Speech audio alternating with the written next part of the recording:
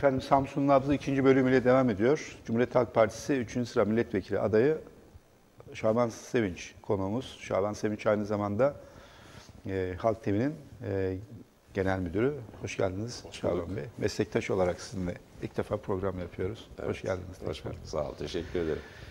Şimdi şuradan başlamakta fayda var. Bugün çok da tartışıldı bu konu.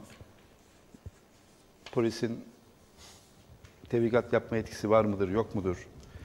Bir yayın organı bu şekilde kayyuma devredilebilir mi, devredilemez mi? İşte e, organize de görevli arkadaşlar gidip böyle bir müdahalede bulunabilirler mi? Bunu merak ediyorum. Aynı şey sizin başınıza e, gelmiş olsaydı nasıl bir tavır e, alırdınız? Bizim başımıza gelmiş olsaydı yani herhalde defolun gidin derdim yani. Çünkü bak burada Sinan Bey, bir hukuki bir süreç yürümüyor. Yani tamamen bir e, zapturapt, bir e, zorbaca bir el koyma. Yani bir hukuk süreci işlemiş de hani bir bir yargılama yapılmış da o yargılama sonucunda bir işte camianın e, terör örgütü olduğuna karar verilmiş değil.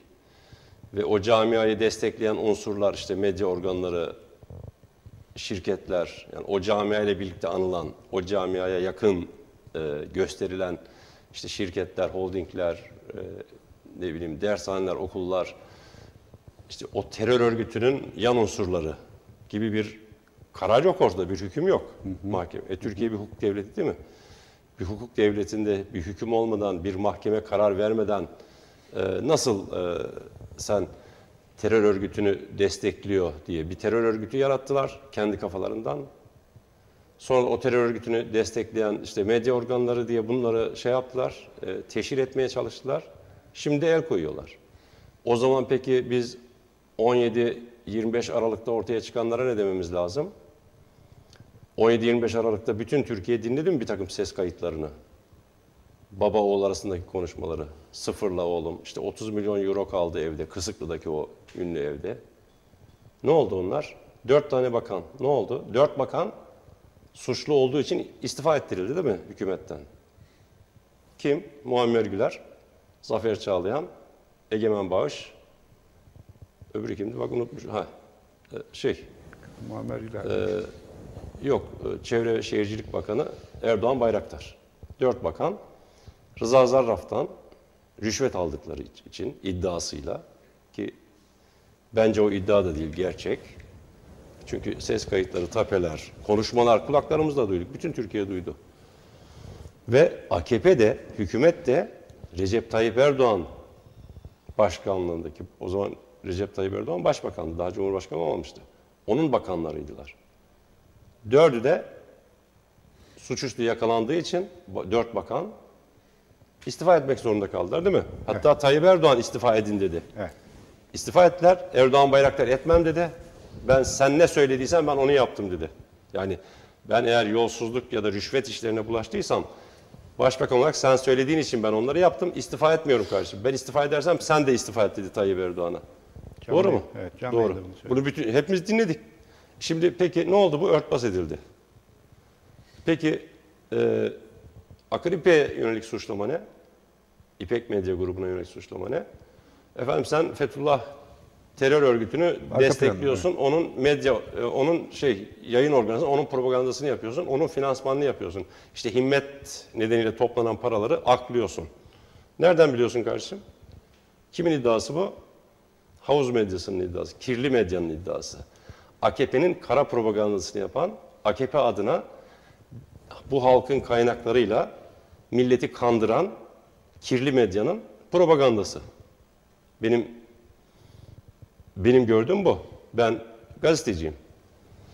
Ee, dolayısıyla şimdi bizden şuna inanmamızı istiyorlar. AKP'nin yalanlarına inanmamızı istiyorlar. Efendim bir terör örgütü var. Üstelik de yıllardır iç içe olmuşlar. Ne istediklerse vermişler. Şimdi Birden o 17-25 Aralık'tan sonra Recep Tayyip Erdoğan ve bakanlarının ve çocuklarının yolsuzluk iddiaları, ses kayıtları, tapeler kamuoyuna yansıdıktan sonra hepimiz, bütün Türkiye, ben de Halk TV'de yayınladım o ses kayıtlarını. Bütün Türkiye kulaklarımızla dinledik o yolsuzluk, rüşvet, hırsızlıkları. Onu örtbas ettiler. Kurgu dediler. Ama dört bakan da istifa ettirdiler. Bulaşmışsınız zarrafla bir takım rüşvet ilişkilerine diye. Şimdi bizden o olayı ortaya çıkardı. Hani Recep Tayyip Erdoğan ve bakanlarının hakkındaki yolsuzluk e, olayını, iddialarını Türkiye'nin önüne serdi diye düşman olarak karşılarına aldıkları Gülen cemaatinin terör örgütü olduğu propagandasını yapıyorlar. Ve bizden de buna inanmamızı bekliyorlar. Bu konuda mahkeme kararı var mı kardeşim? Yok. Mahkeme kararı olursa inanırım. Yani Türk adaleti bağımsız yargı, bağımsız altını çiziyorum, bağımsız yargı Fethullah Gülen camiası bir terör örgütüdür diye adil bir yargılama yapar, savunmaları alır, delilleri ortaya koyar ise ve hüküm tesis ederse ve o hüküm de mahkemenin hükmü de e, yargıtayda kesinleşirse, kesin hüküm haline dönüşürse o zaman ben derim ki evet kardeşim Türk adaleti bağımsız Türk yargısı Fethullah Gülen camiasına bir terör örgütü olarak Kırmızı tescil kitaba etti. girdi ama galiba. Yani onu kırmızı kitap galiba. Yok kırmızı kitap yani, yeter değil. Kırmızı terör kitap, örgütü olarak galiba yok, Kırmızı kitapta PKK da var. PKK'nın kırmızı kitabı nasıl yapıldığını biliyoruz. Milli Güvenlik Kurulu hükümet talepte bulunuyor. Yazılıyor. Bir Nitekim kırmızı kitaba ne zaman girdi? Gülen hareketi 17-25 Aralık'tan sonra girdi. 17-25 Aralık'tan önce niye yoktu? Kırmızı kitapta. Kırmızı kitapta PKK da var terör örgütü diye. Bölücü terör örgütü diye PKK da var. Niye PKK ile 4 yıldır müzakere yaptı Tayyip Erdoğan ve adamlara? Peki, şimdi bak. Ne yapacak? Kayyum ne yapacak? Yani kayyum şimdi, peki böyle bir ya bu baskı bir, ne olacak yani? Şimdi orada? ne var ortada biliyor musun Sinan Bey? Ee, şimdi iktidarını kaybetmekte olan bir baskıcı zihniyet, bir zorba yönetim iktidarını kaybediyor, düşüyor. Düştüğü zaman da çok büyük hesaplar verecek. Çok büyük hesaplar verecek. Veremeyeceği hesaplar var. Veremeyeceği hesaplar var. Ben bu hesapları vermekten nasıl kurtulurum diye Türkiye'yi yangın yerine çeviriyor. Olay bu kadar yalın, bu kadar basit. Bu kadar basit. Karşım. Yani biz senin yalanlarına inanmak zorunda değiliz. Biz terör örgütü ise bunu mahkeme söyler bize. Mahkeme, yargılama sonunda mahkeme söyler. Biz de o zaman deriz ki tamam kardeşim bizim yargımız Türkiye Cumhuriyeti'nin bağımsız adaleti sana, sana terör örgütüydü. Sen o zaman terör örgütüsün. Seni destekleyen işte finans kuruluşlarıydı, şirketlerdi, yayın kuruluşlarıydı. Onlar etkisiz hale getirilir. Gerekli hani el koymalar, yayın lisansını iptal etmeler yapılabilir. Ben Rütük üyeliği de yaptım. Yani bir e, suç işleyen bir yayın organının, bir televizyon kuruluşunun nasıl e, o suçtan alıkonulacağını, etkisiz hale getirileceğini de biliyorum ben. Yani Türkiye Cumhuriyeti kanunlarına göre. Ee, ama bak altını çizelim. PKK. PKK Türkiye'nin 30 yıldır, 40 yıl, 80 84'ten bu yana, 84'ten bu yana Türkiye'nin en büyük şeyi belası ya. Yani 40 bin şeyimiz var, 40 bin insanımız var. Binlerce askerimizi, polisimizi şehit etti. Evet. Bu ülkenin bebeklerini şehit etti. Katletti.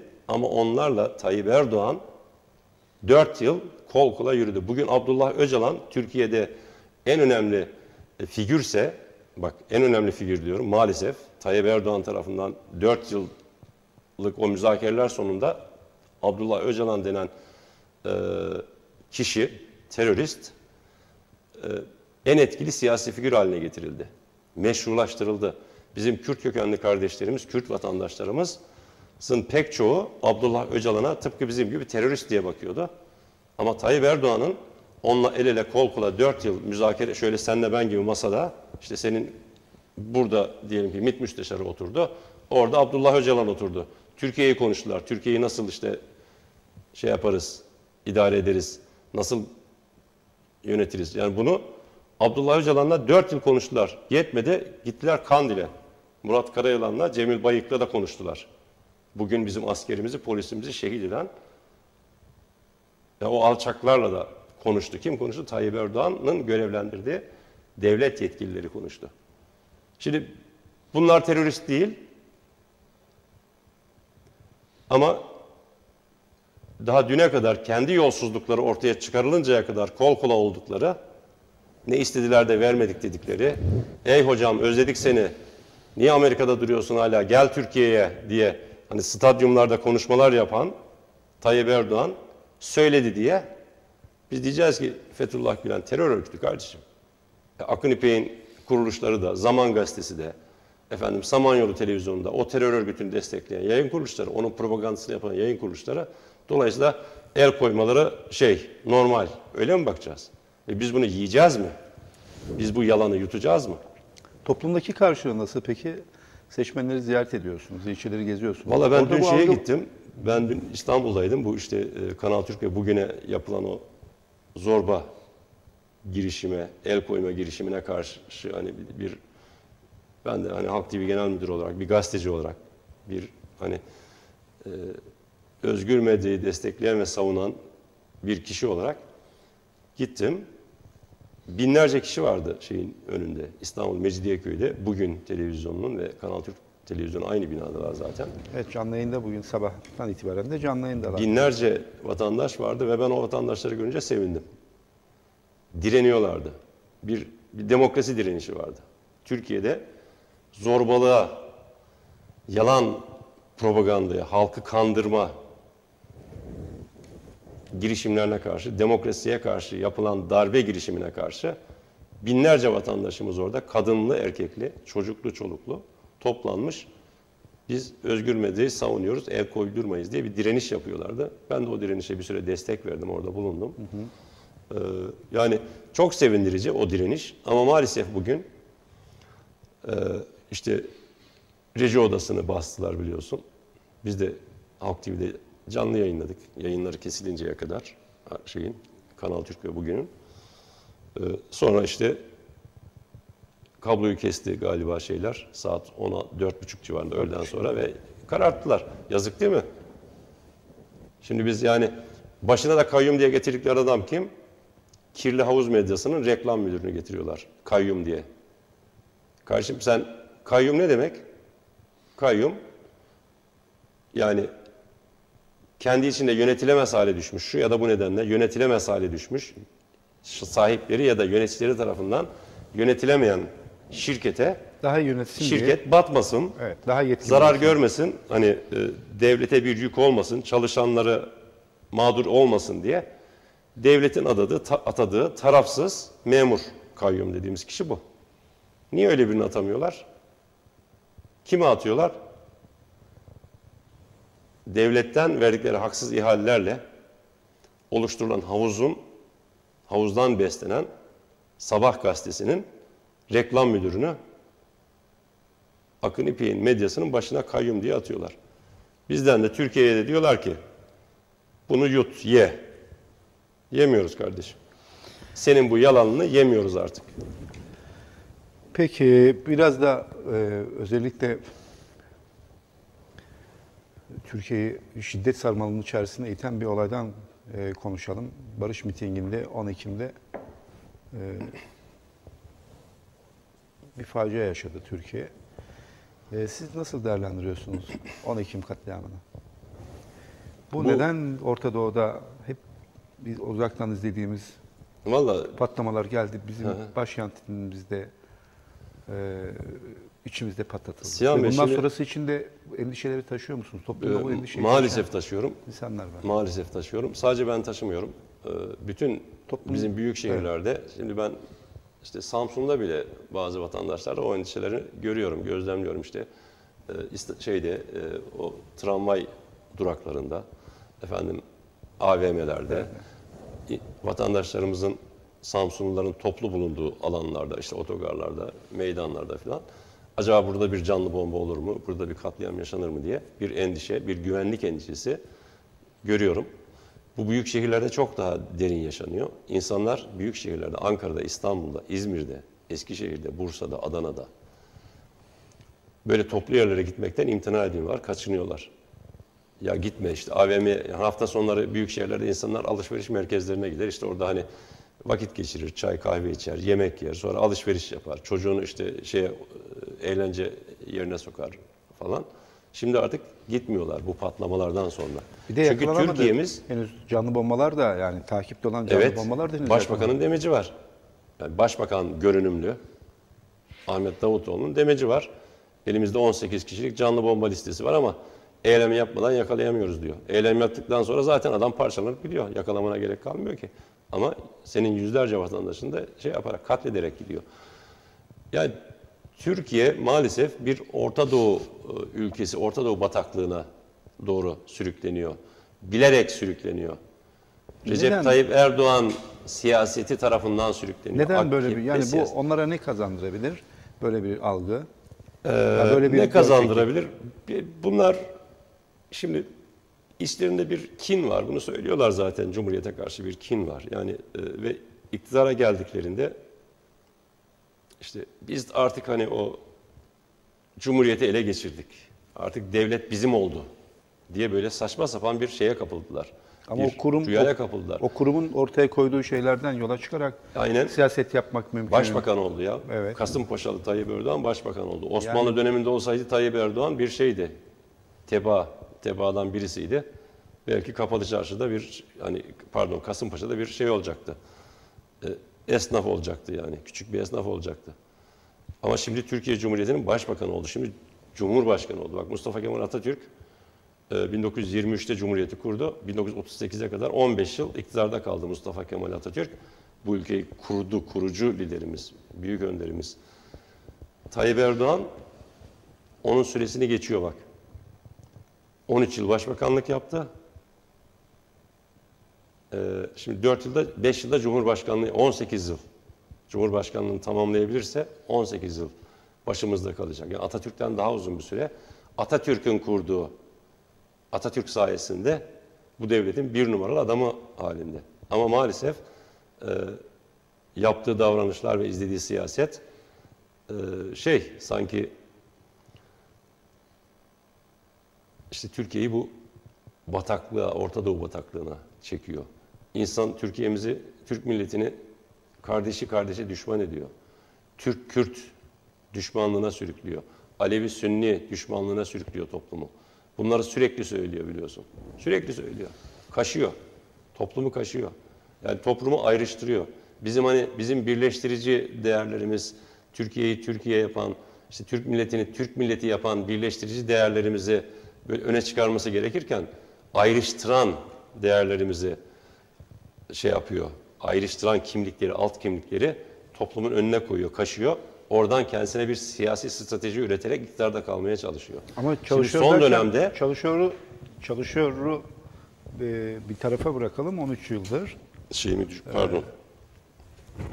13 yıldan beri e, insanlar tarafından e, tercih edilen ve e, ruhsat alan, yetki alan bir performansı da insanlar e, Gö- gösteriyorlar, ortaya gösteriyor. koyuyorlar. Orada bizim de suçumuz var. Siyasi, şey, siyasi partiler olarak, muhalefet parti olarak bizim de suçumuz var. Biz bu topluma kendimizi bugüne kadar maalesef gerektiği gibi anlatamadık. Doğru dürüst anlatamadık. İnsanlarımızla, kendi insanlarımızla doğru diyalogları kuramadık. Doğru üslubu, doğru dili kullanamadık.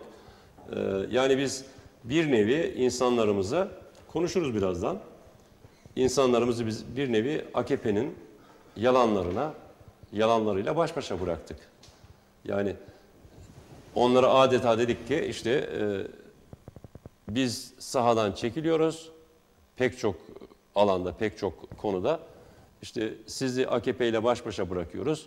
AKP de sizi efendim dibine kadar sömürsün, kandırsın. E, alın terinizi sömürsün. Birazdan konuşalım köylülerin durumunu. Konuşacağız. Orada konuşalım. çünkü Nasıl orada bir- nasıl çiftçilerin bir- sömürüldüğü ile ilgili bir- Samsun'da, Samsun'da nasıl bir kirli zincirler kurulmuş, kirli saadet zincirleri kurulmuş. Ben onları gördüm. Şimdi ben bunları söyleyince bana diyorlar ki vay ya sen niye böyle konuşuyorsun işte hani siyaseti işte hani ne şey diyorlar kavgasız yapalım Samsun'da. Kardeşim ben kavga mı ediyorum? Şöyle ya ne güzel ben çıkar şeyi kurmuşum kardeşim çıkarımı çıkar ilişkilerimi kurmuşum ağımı örmüşüm sömürüyorum köylüyü. Nasıl Çeltik oluyor? üreten Bu- köylüyü sömürüyorum. Tütün üreten köylüyü sömürüyorum. Fındık üreten köylüyü sömürüyorum. Sen niye gelip de burada çomak sokuyorsun Şaban Sevinç? Ya bak ne güzel. Biz biz bize gidiyoruz. İşte böyle güzel işte bakan arabasına biniyorum. Beyefendi bir tane bakan da var Samsun'da. Neye bakıyorsa belli değil. Onunla ilgili de bir üslup tartışması oldu. Bunu da e, Konuşalım. sormamız gerekiyor. Konuşalım. Değerli izleyiciler, Şaban Sevinç'e sormak istediğiniz sorularınız varsa arkadaşlarımız birazdan yayınlayacaklar. Sosyal medya hesapları üzerinden mesajlarınızı iletebilirsiniz. E, bir üslup tartışması başladı. E, bu bu konuyu biraz açar mısınız? Orada ne anlatmak Açayım. istemiştiniz de? Açayım. Ben nasıl şimdi? Sinan Bey, ben şimdi Samsun'a milletvekili olmak için gelmedim kardeşim. Ben işte geleyim de milleti kandırayım. Millet de beni CHP'nin milletvekili olarak seçsin CHP'den. Ben de gideyim Ankara'ya. İşte milletvekili maaşı alayım. Kaç para bilmiyorum. 12-13 bin lira milletvekili maaşı alayım. Ya da 15 bin lira bilmiyorum hakikaten. Efendim işte çoluk çocuğuma sınırsız sağlık hani imkanları, milletvekillerine çünkü bir sürü, bir sürü kıyakları var. Sağlayayım. Efendim e, forslu olayım. Takım elbisemi giyeyim. Şuraya da milletvekili rozetimi takayım. Oh sayın vekilim. E, İşte üç tane danışmanım olsun. Altımda mümkünse bir de makam arabam olsun. Meclisten bir de işte idari görev kapayım. İşte 3-4 ayda bir makam arabama bineyim, kurulayım. Samsun'a geleyim. Beni seçenlere, kandırdığım insanlara. Nasılsınız diyeyim bayramlarda. Sonra gideyim 3-4 ay daha gene keyfini süreyim bu işin. Seçim zamanı bir daha geleyim. Bir daha onları kandırayım. Beni bir daha seçin diyeyim. Sonra tekrar gideyim, tekrar keyif yapayım, milletvekilliği keyfi. Ben bunun için gelmedim karşım Samsun'a. Ben Samsun'a, bu Samsun'da ben siyasal iklimi değiştirmek için geldim. Samsun'daki bu sömürü düzenini, bu kirli zinciri kırmak için geldim.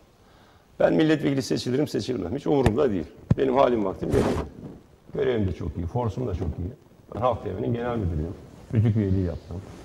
Ee, Türkiye'nin en büyük gazetesinde 15 yıl parlamentoda görev yaptım ben. Parlamento temsilciliği yaptım ben Hürriyet Gazetesi'nin. 15 yıl. Ben yani parlamentoya da doymuşum. Öyle hani e, görevini yapmayan ya da halkına halkına hizmet etmeyen milletvekillerinin şeyini de gö- gördüm çok. Yani bu e, İyi, ve, iyi milletvekillerini de gördüm. Doğru milletvekilliğinin halkına hizmet eden milletvekillerin nasıl olduğunu da gördüm. Ben Samsun'da, ben Samsun'da bu kirli düzene çomak sokmaya geldim. Peki şimdi sizin bu performansınızı e, Samsun kamuoyu takip edecek, görecek bunu. E, tabii çok iddialı bir çıkış bu. Yani e, Samsun'a siyaset yapma e, amacınızı diğer vekillerden farklı olarak tanımladınız. Ancak tabii karşımızda e, şunlar duruyor işin aslı. Şaban Sevinç e, bu farklı bir jargon geliştiriyor siyasette. Farklı bir dil geliştiriyor. E, ama bunu yaparken acaba şimdiye kadar Samsun'da e, var ola gelmiş uslubun dışına biraz çıkarak biraz sert bir siyaset uslubu mu acaba geliştirdi? Bakana hakaret etmesine gerek yoktu diyen Ben bakana hakaret görüşler- etmedim ki Sinan böyle şeyler, böyle şeylerdi. Bunun Ben- için konuşalım. İstedim. konuşalım, konuşalım. Ben bakana hakaret etmedim. Ben bakanı, spor bakanı Akif Çağatay Kılıç'ı görevini yapmaya davet ettim. Sa- ben onu dedim ki Akif Bey, Sayın Çağatay Kılıç sen Samsun'un milletvekilisin. Samsun'daki bu güzel halkımız, bu güzel insanlarımız seni Samsun milletvekili olarak seçti. Evet. Samsunluların oyuyla milletvekili oldun. Ankara'ya gittin. Tayyip Erdoğan da seni bakan yaptı. Çok iyi. Tayyip Erdoğan seni bakan yaptı. E kardeşim sen niye Samsun'a hizmet etmiyorsun? Niye Samsun'da köylüler gırtlağına kadar borca batmış? Niye köylüler Kızılırmak'ın suyuyla tarlasını suluyor? Yeşilırmak'ın suyuyla tarlasını suluyor. Ondan dönüm başına sulama parası alıyorsun kardeşim. Niye kardeşim geçen yıl 2 liraya satılan çeltik bu sene 1 lira 30 kuruştan satılıyor Bafra'da, Terme'de?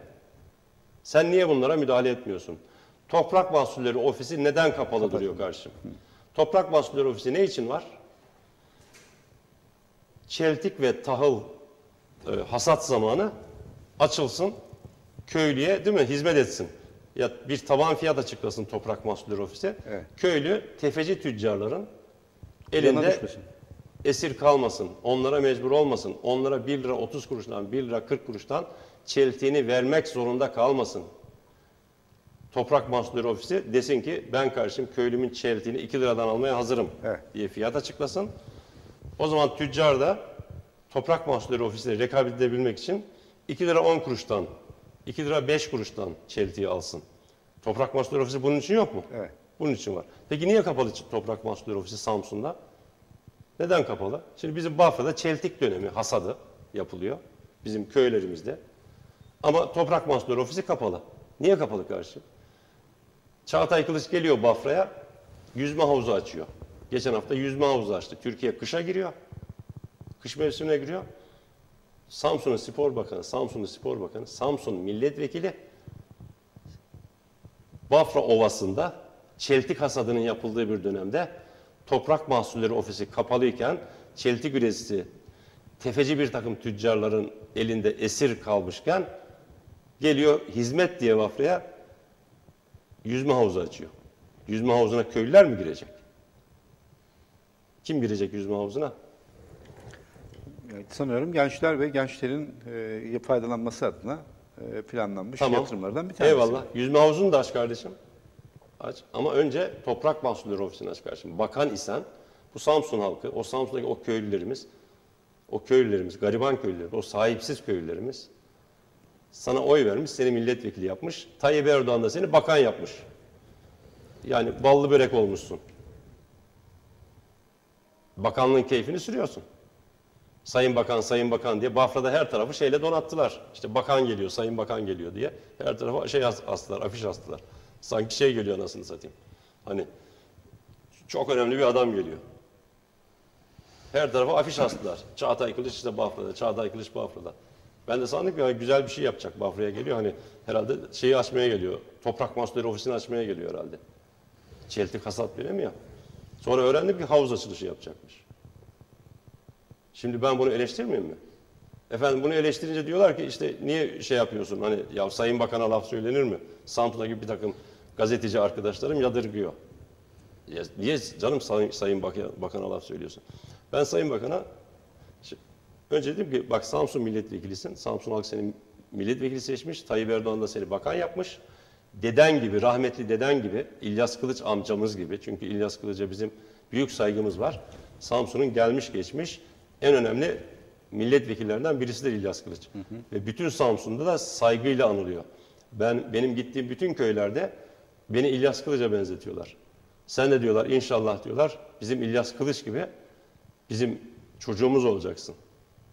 Bize hizmet edeceksin sen de o ışığı görüyoruz diyorlar. Ben onun üzerine çıktım dedim ki Sayın Akif Çağatay Kılıç rahmetli İlyas Kılıç deden gibi ki biz de kendisine amca diyoruz. Hani parti büyüğümüz olduğu için ve Samsun halkının büyük sevgisini kazandığı için, Samsun halkına büyük hizmetleri olduğu için rahmetli amcamız İlyas Kılıç deden gibi Samsun, seni milletvekili yapan Samsun halkına hizmet et dedim. Çıktı öbür gün dedi ki dedemin ağzını al, dedemin adını ağzına alırken Şaban Sevinç ağzını çalkalasın, ağzını yıkasın dedi. Bana hakaret etti. Çağatay Kılıç. O bana hakaret etti. İlk. Sonra gazeteci arkadaşlar bana sordu. Gazeteci arkadaşlar bana kahvaltı verdiler. Ee, geçen hafta bu Samsun'da. Ya Çağatay Kılıç senin için böyle böyle dedi. Ne dedi? Okumamıştım da. İşte Şaban Sevinç dedemin ağız, adını ağzına alırken ağzını çalkalasın dedi. Ben de o zaman dedim ki kardeşim soytarılık yapmasın dedim. Ya soytarılık yapacağına saraya, kendisini bakan yapan, Ankara'daki saraya, kaçak saraya soytarılık yapacağına Samsun'daki e, kendisini milletvekili yapan köylülere hizmet etsin dedim. Ve sözümün de arkasındayım kardeşim. Yargıya Saraya taşınıyor. soytarılık yapacağına bizim kendisini milletvekili yapan köylüleri bize hizmet etsin. Tabii bakana söz hakkı doğuyor burada. Cuma günü Bağlansın konuşalım. olacağız. Gelsin konuşalım burada tartışalım.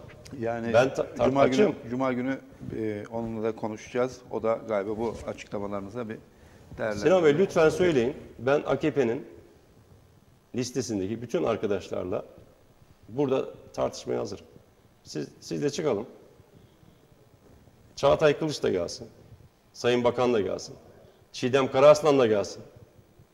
Çünkü ben bu o çıkar ilişkilerine, o kirli saadet zincirini kıracağım, dağıtacağım, çomak sokacağım. Bak Akif Çağatay Kılıç gelsin. Çiğdem Karaaslan hanımefendi, mimar hanımefendi gelsin, tartışalım. Orhan Kırcalı gelsin. Bafra'daki köylülere haciz gönderen, icra gönderen Orhan Kırcalı da gelsin. Aha da belgesi. Bak. Kameraman arkadaş çekebilir mi? Bak gösterelim. Şimdi ben bunları söyleyince bana diyorlar ki efendim niye şey yapıyorsun? Neyle ya, ne ilgili o haciz kardeşim? belgesi? milleti aldat, milletin aldatılmasına göz müyüm? Ben gazeteciyim ya. Neyle ilgili o haciz belgesi? Sunam abi şimdi zoomlayabilirse çok memnun olurum. Şimdi bir köylümüze sulama Kızılırmak'tan yaptığı sulama nedeniyle borcunu ödeyemeyen bir köylümüze Orhan Kırcalı icra göndermiş. Evet. Biraz daha yaklaştır. Tamam şimdi okuyabiliriz diyeceğiz. Bafra İcra ve İflas Müdürlüğü. Şurada değerli kardeşlerim, sevgili izleyiciler. Vekili avukat Orhan Kırcalı. Kimin vekili? Bafra Sulama Birliği'nin, Altınkaya Sulama Birliği. Ne olmuş? Vatandaşımız, Gazibeyli köyümüzden bir vatandaşımız Kızılırmak'tan akan sudan tarlasını sulamış, borcunu ödeyememiş. Köylü nasıl ödeyecek borcunu? Ya gırtlağına kadar faize batırmışlar, kredi borcuna batırmışlar. Çeltiği para etmiyor, tüccarlara peşkeş çekiyorlar. Orhan Kırcalı da o köylümüze icra göndermiş. Sadece bu köylümüze değil, bundan yüzlerce var. Hangi tarihle efendim bu? Bundan yüzlerce var. Yeni. Yeni. Borç eski de icra 2015. Borç eski. 2012'den yani birikmiş, ödeyememiş adam ya. Nasıl ödesin ya? Nasıl ödesin? Çeltik üretiyor. Toprak Mahsulleri Ofisi'ni kapalı tutuyorlar. Tüccara 1 lira 30 kuruştan veriyor. Geçen yıl 2 liradan satılan çeltiği şimdi 1 lira 30 kuruştan veriyorlar ya bizim Bafra'da, Terme'de, Fındıkla Çarşamba'da. ilgili, fındıkla ilgili de Bak, benzer niye böyle oluyor biliyor musun Sinan Bey? Konuşalım ya açık konuşalım lütfen. Çünkü AKP'nin Bafra ilçe yönetiminde çeltik tüccarları var. Tamam mı? Hani kirli çıkar ilişkileri, saadet zinciri, kirli ilişkiler derken bunu kastediyorum kardeşim. Bakan biliyor, Çağatay Kılıç biliyor, AKP'nin milletvekilleri de biliyor. Çünkü arkadaşları AKP'nin ilçe yönetimlerinde çeltik tüccarları var. Tefeci kılıklı çeltik tüccarları. Köylüyü sömüren çeltik tüccarları var. Çarşamba ilçe örgütünde, Terme ilçe örgütünde de fındık tüccarları var kardeşim. Tamam mı? Bu nedenle köylünün ürettiği fındık para etmiyor. Köylünün ürettiği çeltik para etmiyor. Ediyor da etmeyen bölümü köylüye kalıyor, eden bölümü o tüccarlara kalıyor. Geçen geçen ay e, Haziran seçimlerinde ben Bafra'da bir çeltik tüccarıyla konuşuyorum. Bana dedi ki ya ben sana oy vermem. Niye? Ben AKP'ye vereceğim kardeşim. Tayyip Erdoğan işte falan filan. Dedim ya Tayyip Erdoğan hakkında bir sürü tapeler çıktı bak yani yani hani artık desteklemeyin. Hani işte hakkındaki iddialara yanıt versin falan. Ne kadar hepsi kurgu onların dedi. Dedim nesi, nesi kurgu dedim. Dinlemedin mi televizyondan, gazetelerden? Ya dinledim de onların hepsi kurgu diyor. Ben diyor ben iyi AKP'liyim. Ben AKP'ye dedi 500 bin lira yılda şey veriyorum diyor. Seçim yardımı. Bak. Bunu diyen kim biliyor musun? Çeltik tüccarı. AKP'ye yılda 500 bin lira yardımda bulunuyormuş. O yardımı nereden sağlıyor? İşte o bizim Yeşilyazı köyündeki, Kuşçular köyündeki, efendim Çetinkaya'daki, bizim Dedeli'deki, Yörgüç'teki, Örencik'teki, Harız'daki, Siz bu, tespiti, bu tespitleri yapınca peki çeltik üreticilerinin alın terinden yapıyor. Onların çeldiğini Toprak Mahsulleri Ofisi'ni kapalı tutuyorlar. Sömürüyorlar, alıyorlar köylü, garibim köylünün elinden çeltiği ucuz fiyata. Ondan oradan çok büyük rant sağlıyorlar. O rantı da yiyorlar, içiyorlar işte. siz bu, Siyasetten de siz besliyor. bu tespitleri, bu soruları ortaya koyunca cevap veren Hepsini ben söyledim bunların kamuoyuna. Hepsi Ce- benim cevap veren oldu mu peki? değil. İşte belgeli zaten, belgeleri de burada. Bunlara cevap veren oldu mu? Efendim şey yok. Yok. Bunlara cevap veren yok. Efendim Şaban Sevinç niye efendim siyaseti kavgaya döküyor diyorlar. Ya bu kavga mı şimdi? Ya köylünün hakkını savunmak, köylüye kardeşim sen sömürülüyorsun. Kandırılıyorsun. Bak seni kandıranlar da bunlar. Aha da belgesi demek. Kavga etmek mi anlamına geliyor? Ya ne yapacağız? Ben de mi kandırayım köylüyü? Ben köylü çocuğum ya. Ben Bafra'nın Yörgüç köyünden 5 yaşından beri, 6 yaşından beri ben çocukluğumu hatırlamam. Ya çocukluğumu hatırlıyorum da tar, tütün tarlasında hatırlıyorum çocukluğumu. Ben hani işte okulun bahçesinde top oynamam gereken, oyun oynamam gereken yaşlarda e, tütün dikmeye gittiğimi, işte tütün tarlasında böyle şey vardı eskiden. Şimdi tankerlerle falan zaten sulama, tütün dikme artık şeyle yapılıyor, makineyle yapılıyor. Eskiden hani böyle elle dikiliyordu. Biz de böyle boynumuzda şey taşırdık. İşte şöyle bir boyunduruk olurdu. İki ucuna şey takılırdı. Teneke. Onda işte su alınırdı. Tankerden su alınırdı. Tütün dikenlerin ibriklerine boşaltırdık böyle. Ben yani öyle büyüdüm. Sonra sabah yani sabah giderdik tarlaya. Bir taraftan okula giderdim işte. Ee, okula gitmediğim günler zaten tütün dizme mevsimi şeyde olurdu. Tütün kırma mevsimi okullar kapanınca işte Haziran, Temmuz, Ağustos. Kalkardık, tarlaya giderdik. 6-7 yaşlarındayım, 8 yaşlarındayım yani. O zifir kokusunda tütün kırarsın. Ailenle bile, çoluk çocuk. Ondan sonra güneş çıkınca tütünü toplarsın, gelirsin. Kırma işlemlerin biter güneş çıkınca. İşte mağazada, evin yanında mağaza vardır. O mağazada dizersin gölgede. Ondan sonra asarsın. Babam babam önden alırdı. Şey ben de arkadan tutardım böyle ipleri. Şeye asmaya giderdik vagonları. Asardık kuru, kurumaya. Şimdi ben hani ben böyle büyüdüm. Sonra çok şükür liseyi bitirdim. Bafra Lisesi'ni bitirdim. Benim şansım varmış, şanslıymışım. İşte Ankara'ya gittim, üniversiteye girdim. Gazetecilik okudum 4 yıl üniversitede. Şimdi üniversiteyi bitirdim. Yine şansım varmış. Milliyet Gazetesi'nde, üniversite daha, daha üniversite bitmeden Milliyet Gazetesi'nde gazeteciliğe başladım. Kaç Ankara'da. senesinde? 87. 87'de üniversite bitmeden Milliyet'te gazeteciliğe başladım. Sonra Hürriyet Gazetesi'nde geçtim. Hürriyet Gazetesi'nde 2005 yılına kadar parlamento muhabirliği yaptım. Parlamento muhabirliği yaptım. 2005 yılında Rütük üyeliğine seçildim. Türkiye Büyük Millet Meclisi'nde yapılan oylamayla Cumhuriyet Halk Partisi'nin önerisiyle Radyo Televizyon Üst Kurulu üyesi oldum. İşte son 3 yıldır da Halk TV'nin genel müdürlüğünü yapıyorum. Çok şükür. Yani ben bunu Bafra'nın çocuğu olarak yapıyorum. Yani ben Yörgüç köyünden işte Hacı Muhterem Sevinç'in oğluyum. Peki CHP'de Ee, siyaset yapma fikri nasıl C- olgunlaştı? CHP'de siyaset yapma fikri. O gazetecilik e, dönemimde Cumhuriyet Halk Partisi muhabirliği de muhabirliği yapıyordum. Yani işte Mustafa Kemal'in partisi, Atatürk'ün partisi, da Halkçı Parti, Halk Partisi, efendim Bülent Ecevit'in partisi. Peki Cumhuriyet Halk Partisi'ni tercih ettiniz.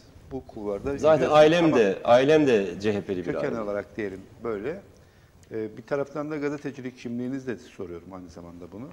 Ee, bir kara olan rüzgarını Cumhuriyet Halk Partisi neden bu toplumda söylediğiniz kadar yoğun e, sancılar varsa Cumhuriyet Halk Partisi'nin daha fazla karşılık bulması, daha Şimdi Cumhuriyet Halk Partisi'nin- Cumhuriyet Halk Partisi'nin genel siyaseti- Öz eleştiri yaptığınız zaman Ha, ne görüyorsunuz? işte yaptılar. Biz bir takım eksiklikler var bizde.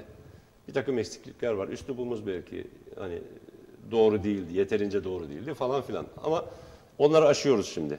Aşıyoruz şimdi ve e, biz onu kendi içimizde o öz eleştirileri yapıyoruz. Kendi içinde öz eleştirisini en iyi yapan parti de Cumhuriyet Halk Partisi'dir. Cumhuriyet Halk Partisi çok sesli bir partidir. Biat eden bir parti değildir. Liderini tartışır, kadrolarını tartışır. Sonra kararını alır, seçimlerini yapar kendi içinde ve halkına hizmet etmek için Anadolu'ya açılır. Ama Cumhuriyet Halk Partisi böyle bir parti. Ama 2014'te 2014'te Atakum gibi, Tekeköy gibi Bunlar, birkaç yerde bunlar şimdi yerel seçimlerde bunları kaybetti Cumhuriyet Halk Partisi. Yani e, bu başarısızlığı neye bağlıyorsunuz peki? Valla çünkü karşımızdaki AKP bir yalan makinesi gibi. Toplumu kandırmak için her türlü argümanı kullandı karşı. Bak bizim kutsal dinimizi istismar ediyor. Efendim her türlü şeyi istismar ediyor. Bu halkın her türlü değerini istismar ediyor siyaseti siyasetin sokulmaması gereken kulvarlara çekiyor. Bizim e, işte dini duyguları yüksek vatandaşlarımızın dini duygularını istismar ediyor. Camilere siyaset sokuyor. Yani her türlü karalamayı yapıyor. halkımızı bir şekilde kandırıyor maalesef. E, en son işte e, bir de biliyorsun kırsal kesimleri de belediye sınırları içine aldı ki onu da yıkacağız. O da yani bu bütün şehir yasası kırsal kesimlerde ilçelerimizde Çarşamba'da da Bafra'da da Havza'da da Vezirköprü'de de Kavak'ta da işte Alaçam'da da Yakakent'te de 19 Mayıs'ta da halkımızın yeni belası bütün şehir yasası. Halkımızın yeni belası. Hiçbir hizmet getirmedi bütün şehir yasası. Yani Yusuf Ziya Yılmaz benim köylerimin, benim ilçelerimin de patronu, yöneticisi haline getirildikten sonra bütün şehir yasasıyla hiçbir hizmet getirmedi kardeşim. Sanıyorum iki yıl oldu. Ama üç tane fatura geldi köylümüze. Şimdi bizim Yörgüç köyünü mahalle yapmışlar. Ya kaç yıllık köy kardeşim? Köy muhtarlığı var, hükmü şahsiyeti var, ihtiyar heyeti var. Şimdi oraya mahalle yapmışlar. Samsun'un Bafra ilçesinin mahallesi. Ne alakası var? Bafra'ya 6-7 kilometre mesafede. Hiç etkisiz. Muhtarlar etkisiz.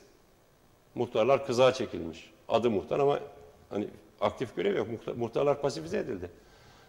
Şimdi e, hiçbir hizmet de vere- veremiyor. Yusuf Ziya Yılmaz hangisine yetişsin ya? Samsun'da bizim Bafra'da 119 köy var. Sadece Bafra'da mesela. Çarşamba'da keza sanıyorum 80 90 Evet. civarı köy var. Terme'de, Havza'da, Vezirköprü'de. Yani binlerce köy var şeyde Samsun'da. Toplamda bine yakın. Yusuf Ziya Yılmaz hangisine yetişecek? Yusuf Yılmaz, Yusuf Ziya Yılmaz beyefendi. İki, kere- burada bir kez daha hani adı geçtiği için e, hakikaten Allah rahmet eylesin, başı sağ olsun. Annesi hanımefendi geçtiğimiz günlerde vefat etti. Evet. Ben de katıldım cenaze törenine. Hangi birine yetişecek ya Yusuf Ziya Yılmaz? Ha burada Samsun'un içini düzeltemiyor. Samsun'un içine Yani yeterince hizmet planlama edemiyor. yapıyorlar tabii bununla ilgili. Biz de yakından Bizim ba- takip bak, bizim ama Bafra'nın- kaynak, kaynak, kaynak önemli. Bafra'nın, Çarşamba'nın, Havza'nın şehir içindeki yollar çamurdan geçilmiyor. Çukurdan geçilmiyor. Neymiş? Ya orada belediye yok mu? AKP'li belediyeler onlarda. Ya niye yapmıyorsun kardeşim belediye? Sen bu Bafra'nın, Çarşamba'nın, Havza'nın şehir içi yollar niye çamur ya? İnsan şehrin içinde yürürken ayakkabıları çamur olur mu? Pantolonuna çamur sıçrar mı? Sıçrıyor. Niye kardeşim öyle? Ya kardeşim belediyenin yetkisi yok işte. Yusuf Ziya Yılmaz'ın yapması lazım Büyükşehir'in, Samsun Büyükşehir'in ilçelerdeki, köyümdeki, benim köyümdeki yolu yapması lazım. Ne alakası kardeşim? Yusuf Ziya Yılmaz abi saathaneyi yapamamış. Saathaneyi delik deşik etmiş. Saathanede de yürünmüyor. Mecidiye'de de yürünmüyor. Yani yağmur yağınca Mecidiye şeyden geçilmiyor. Şeye, dere gibi oluyor Mecidiye. Saathane çamura dönüyor. Kazmışlar orayı. Esnafı perişan etmişler. Yusuf Ziya Yılmaz şimdi şehrin göbeğini yönetemiyor. Ta bizim kaç kilometre ötedeki kendisine bizim köy mesela ki bizim köy yakın sayılır. Şimdi belediye burada 45 kilometre işte 6-7 kilometre 50 e, 51 52 kilometre mesela benim köy. Benim köydeki sorunla uğraşacak Yusuf Yılmaz. Saathanedeki sorunla uğraşsın. Benim köyüm tekrar köy olsun. Oradaki muhtar tekrar muhtar olsun. Bafra Belediyesi tekrar Bafra Belediyesi olsun kardeşim. Hizmet etsinler. Hep kandırma. Ama belediyeleri ele geçirmek için o bütün şehir yasasını çıkardı. Biz iptal edeceğiz. Kaldıracağız. Bütün Başka? şehir yasasını kaldıracağız. Peki e, Cumhuriyet Halk Partisi'nin ortaya koymuş olduğu vaadet, vaatler vardı. Bu vaatler toplumda 7 Haziran döneminde e, aslında çok da tartışıldı. Sanki karşılık bulduğu gibi ama oy oranlarına baktığımız zaman Cumhuriyet Halk Partisi oy oranını yükseltemedi. Acaba orada Halkların Demokratik Partisi'ne giden oylar mı var ya da başka bir şeyden dolayı mı böyle oldu? 1 Kasım'da nasıl görüyorsunuz? 1 Kasım'da, 1 Kasım'da biz Cumhuriyet? Halk Partisi olarak ne olacak? biz yani? 1 Kasım'da Cumhuriyet Halk Partisi biz il- ileri bakıyoruz. Geçmişe bakmıyoruz, önümüze bakıyoruz, ileriye bakıyoruz. Çünkü Türkiye'nin ileriye bakmaya ihtiyacı var. Birliğe, barışa ve kardeşliğe ihtiyacı var. Türkiye'nin kalkınmaya ihtiyacı var. Türkiye'nin gençlere yeni iş alanları açmaya ihtiyacı var. Türkiye'nin köylüsüne sahip çıkmaya ihtiyacı var. Kirli saadet zincirlerini, sömürü düzenlerini kırmaya ihtiyacı var Türkiye'nin. Biz önümüze bakıyoruz. 1 Kasım seçimlerinde biz Cumhuriyet Halk Partisi olarak inşallah e, tek başına iktidar hedefliyoruz. Tek başına iktidar hedefliyoruz.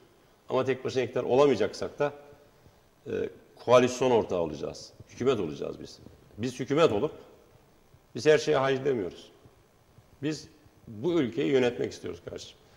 Tek başına bizim halkımız, Türk milleti tek başına verirse bu yetkiyi canımıza minnet. Çok güzel yönetiriz.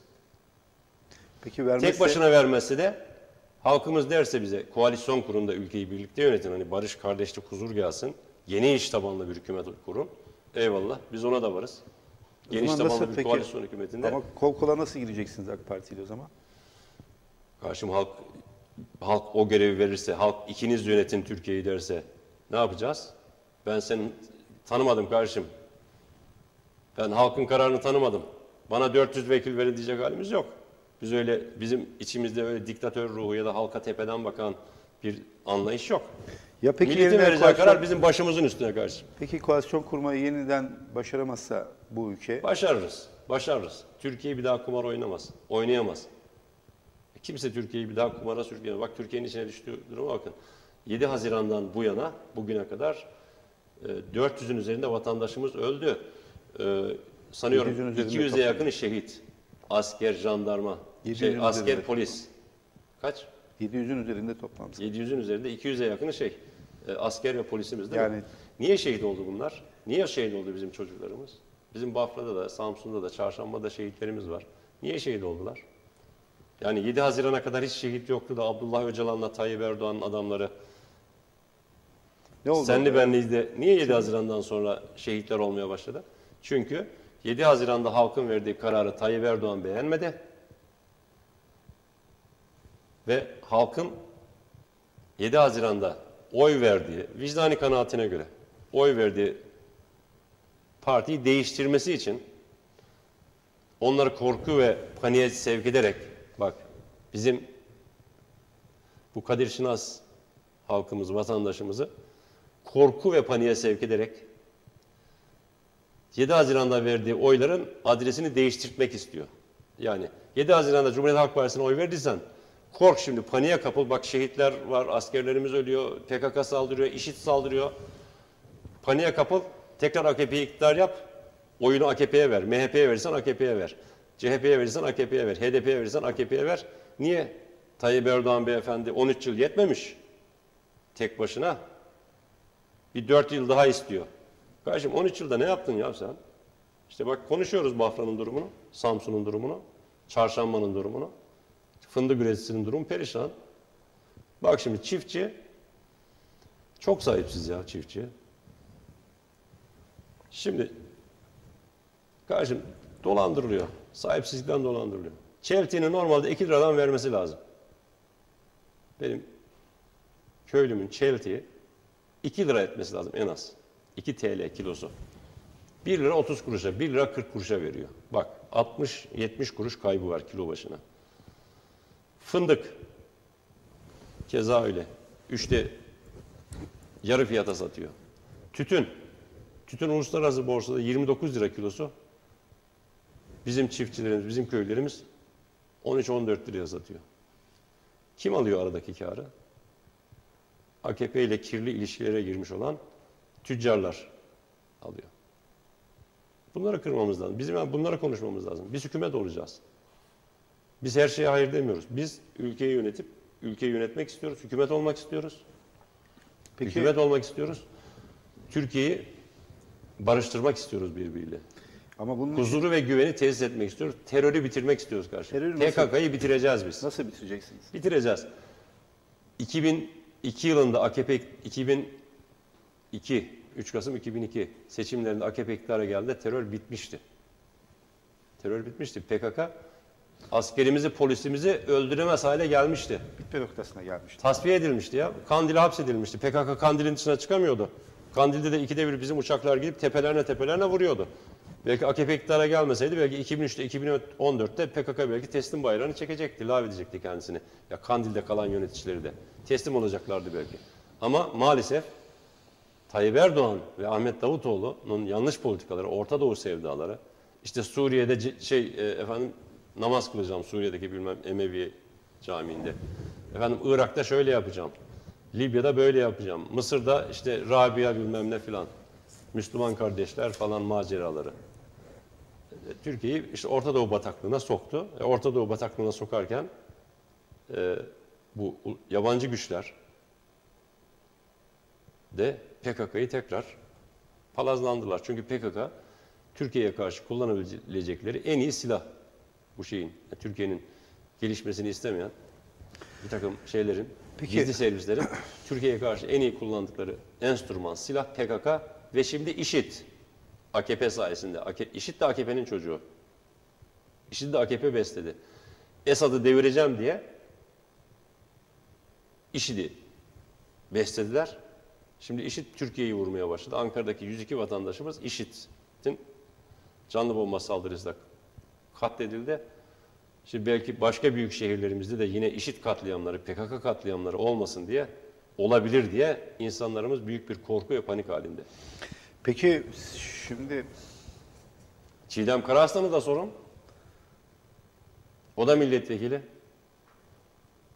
ne bir, bana mı diyorsunuz yoksa siz mi soracaksınız? Yok, siz mi soruyorsunuz? onu da konuşalım. Ha siz de onunla mı konuşalım? Onu da konuşalım. Ben önce şunu Ya sorayım. gelsin burada tartışalım Çiğdem Hanım. Hayır şimdi 89 böyle bir şey- Çiğdem Hanım 36 yaşında bir mimar. 36 yaşında bir peyzaj mimarı. 89 başkan ihaleyi nasıl almış son 5 yılda? AKP'nin de genel başkan yardımcısı oldu. Yani tabii- terfi etti. AKP'nin tabii 12 bütün- Eylül Kongresi terfi etti. Bütün bahsetmiş olduğunuz bu e, arkadaşlarla ilgili, vekillerle ilgili, adaylarla ilgili cevap hakları doğuyor. Biz buradan tabii onlara Aynen. Ben cevap onlarla hakkı için Sinan Bey, bunu davet ediyoruz tabii. Yani Ben arkadaşlarımla bir araya burada gelebilirler, gelmeyebilirler. ben o arkadaşlarımla Fuat Köktaş da gelebilir. Onunla da tartışırım. O arkadaşlarımla ben burada da tartışmaya hazırım. Bizim Halk TV'de de tartışırız. Biz arzu ediyoruz aslında. Yani e, Samsun'un dünyaya açılan penceresi. Korkmasınlar ya. Haber Aks TV. Neden korkuyorlar ki? Ee, Şurada arzu ediyoruz. güzel güzel konuşalım. Bütün siyasetçilerin yani bunu NTV yapabiliyorsa, CNN Evet. yapabiliyorsa Biz biz de, siz de yapabiliriz. Tabii, siz yani Samsun'un Samsun'un gelişmesi en önde gelen çok arzu ediyoruz. 5-6 yıldan beri ben özellikle bu işi çok arzu ediyorum ama genelde böyle bir teamül yok. Ee, siyasetçiler işte ayrı İşte. ayrı geliyorlar, kendilerini Eh, ifade yani ediyorlar. ya bir düzen kurulmuş kardeşim Samsun'da. Ya niye gelip de karıştırıyorsun? kardeşim? Niye çomak sokuyorsun? Ya işte birilerinin ihale alsınlar boş ver, şöyle yapsınlar boş ver. Ya kardeşim olmaz kardeşim. Olmaz. Ben bu düzene çomak sokacağım. Bu kirli ilişkileri kıracağım. Şimdi herkes kendi eteğindeki taşları mutlaka Buradan bir kez daha sorayım müsaade edersen. Çiğdem Karaaslan hanımefendi, Samsun milletvekili, AKP'nin Samsun milletvekili Çiğdem Karaaslan hanımefendi, 36 yaşında, genç, tecrübesiz denilebilecek bir mimar. Yani mimarlıkta tecrübeli olmak için de böyle 50 yaşı devirmek lazım. Hani kıdem. Tecrübesiz bir mimar. Nasıl oldu da son 5 yıl içinde 89 adet ihale alabildi kardeşim? Türkiye'de başka mimar yok mu? Samsun'da başka mimar yok mu? Bütün ihaleler neden Çiğdem Karaslan'a veriliyor? Bu sorunun cevabını Samsun bekliyor. Peki biz de sizin sesinize buradan ses oluyoruz. Teşekkür Herkes ederiz. üzerine alan alıp cevaplarını verebilir. Tartışma için bir araya gelebilirsiniz. Ayrı ayrı gelebilirler. Buradan da herkese bu e, mecranın açık olduğunu söyleyelim. Şimdi şu konu da önemli. Birkaç dakikamız kaldı ama e, önümüzde bekleyen sadece bir terör örgütü meselesi yok. Toplum bir an önce kargaşadan, bu şiddet sarmalından çıkmak istiyor. Yamalı bahçeye dönmüş bir anayasamız var. Siyasi partiler yasasında problem var. Baraj sorunu var. Ee, bir sistem tartışması yaşanıyor. Parlamenter sistemi bırakıp başkanlık sisteminin içerisinde mi yaşayacağız? Bütün bunların hepsi 1 Kasım'dan sonra bizi bekleyen devasa sorunlar aslında. 1 Kasım'da Yüce Türk milleti çok güzel bir karar verecek. Ee, kendisine biat edecek bir meclis çoğunluğu yaratmaya çalışan beyefendi hüsrana uğrayacak. Parlamenter sistem güçlenecek. Parlamenter sistem Türkiye için olmazsa olmaz bir sistemdir. Ve en iyi sistemdir. 7 Haziran seçimlerinde çok güzel bir parlamento oluşmuştu aslında. Halkın halkın siyasal tercihlerinin yüzde 97'si yani bizim oy kullanan Türk vatandaşının, her Türk vatandaşının, Türkiye Cumhuriyeti vatandaşının 97'sinin oyu parlamentoya yansımıştı. Maalesef o parlamento e, her şeye hayır diyen Sayın Devlet Bahçeli'nin yanlış siyaseti bilemiyorum ve Recep Tayyip Erdoğan'ın meclis başkanlığı seçiminden itibaren inisiyatifi el alıp tek adam olma hevesiyle etkisiz hale getirildi ve Türkiye seçimine gidiyor. Ama ben şunu biliyorum, şunu görüyorum sahadaki çalışmalarımızdan. Recep Tayyip Erdoğan Türkiye'yi 1 Kasım seçimlerine götürdüğüne pişman olacak. Samsun'da 6. milletvekilini çıkarmaya çalışıyorlar değil mi? Samsun'da 5. milletvekilini bile bulamayacaklar. Ha, Samsun'da yoksa- 5. milletvekilini bile çıkaramayacaklar. Peki bakalım 1 Kasım ve 1 Kasım sonrasında da eğer siz de vekil seçilirseniz sizinle de oturup sohbet etme şansımız olur. Vekil seçilemezseniz de yine konumuz olur. Her zaman ben her zaman ben bundan sonra yani şey. Samsunlulara hizmet edeceğim. Vekil seçilemezsem gazeteci olarak hizmet edeceğim ama vekil seçiliyorum. Seçiliyorum. Biliyorum. Çünkü Samsunlular beni anladı. Benim ne demek istediğimi anladılar Samsunlular. Zaten açıkta konuşuyorum. Hani böyle süslü laflar da etmiyorum. Direkt konuşuyorum. Ben Samsun'un işte Bafra'sının Yörgüç köyünden Hacı Muhterem Sevinç'in oğluyum kardeşim. Ve benim ne dediğimi anlıyorlar. Ben onların dilini biliyorum, onların derdini biliyorum. Ben onların kavgasını vereceğim. Onların sahibi olacağım ben. Ya, hani onların sahibi olacağım derken çok özür diliyorum. Yanlış sahibi anlamasınlar. haklarının sahibini Yani olmaya onların haklarının sahibi olacağım. Onların haklarının savunucusu Sahip olacağım. Onlar için ben Ankara'da kavga edeceğim. Burada da kavga edeceğim. Samsun'da da kavga edeceğim. Çıkar çeteleriyle, tefecilerle ve kirli siyasetçilerle ben Samsunlular adına, köylüler adına, esnaf adına, gençlerimiz adına kavga edeceğim. Ve kavga edeceğim de hani kavga edip durmayacağım. Çözeceğim. Yani marif, kavga etmek marifet değil ki. Çözeceğim karşım. Sulama Birliği köylüden su parası mı alıyor? İptal olacak. Bütün şehir yasası. İptal olacak kardeşim. Kalkacak. Köylüyü gırtlağına kadar borçlandıran kredi banka rezaleti, banka sarmalı. Kredi faizlerinin yüzde seksenini sileceğiz. Hem köylünün hem esnafın hem kredi kartı kullanan Samsun'daki bütün vatandaşlarımızın, Türkiye'deki bütün vatandaşların kredi borçlarının faizlerinin yüzde seksenini sileceğiz. Sileceğiz. Yörüklerde 19 Mayıs'ta Yörüklerde insanların evleri yıkılıyor. Hiçbir izahı yok. Yusuf Ziya Yılmaz bir proje yapmış. İnsanlar da bilmiyor ne projesi olduğunu. Gidiyor ikide bir dozer, ev, iki ev yıkıyor, üç ev yıkıyor, dönüyor. Niye yıkıyorsun kardeşim Yörüklerdeki vatandaşların evini? İşgalci konumda olduklarını söylüyorlar. Niye 30 yıldır 30 yıldır oturuyorlar orada? 30 yıldır oturuyor ya. 30 yıldır elektriğini ödüyor, suyunu ödüyor, saat telefonunu ödüyor. Yani her şey bağlanmış. Tapusu da var. Müşterek tapusu da var, hisseli tapu. Niye yıkıyorsun ya? Ya, ya yıkıyorsan da bir şey yapacaksan izah et. Topla vatandaşları. Sevgili Yörüklülerdi. Burada hani bu evler yanlış duruyor. Şu evleri kaldıralım da size evleri şuraya yapalım. Şöyle güzel bir şey yapalım buraya da filan diye izah et yani insanlarla diyalog kur. Ayıp değil mi ya? Bak 19 Mayıs'ta %63 oy almış AKP 7 Haziran'da. %63 oy almış. Şimdi onların evini yıkıyor. Ya bu vicdana sığar mı ya? Ama göreceksin 1 Kasım'da 19 Mayıs'ta görün AKP'nin oyu nasıl böyle dip yapacak. Yapacak. Peki bakalım Artık kandıramıyorlar. Kandır, kandıramayacaklar. 1 Kasım'da neler olacağını hep birlikte göreceğiz. Ee, biz de e, seçim günü e, sonuçları e, sizlerle paylaşacağız. Şaban Bey teşekkür ediyorum katılımınızdan beri. Katılımınızdan dolayı başarılar diliyorum çalışmalarınızda. Umarım e, istediğiniz gibi, düşündüğünüz gibi bir sonuçla karşılaşırsınız. Biz de otururuz, sonuçlarını sizinle değerlendiririz. Çok teşekkür ederim Sinan Bey. Sağ olun. ederim. Ben de izleyen bütün vatandaşlarımıza çok teşekkür ediyorum. İyi geceler. Sağ olun. Sağ olun. Şaban Sevinç konuğumuzdu değerli izleyiciler. Cumhuriyet Halk Partisi Samsun 3. sıra milletvekili adayı. Aynı zamanda Halk TV'nin genel müdürü. Meslektaşımız Şaban Sevinç. Yarın akşam Tekeköy Belediye Başkanı Hasan Togar konuğumuz olacak. Bir sonraki günde e, Gençlik ve Spor Bakanı Çağatay Kılıç konumuz olacak efendim. E, bizden ayrılmayın. Bize ayırdığınız vakit için teşekkür ediyorum. İyi geceler dilerim.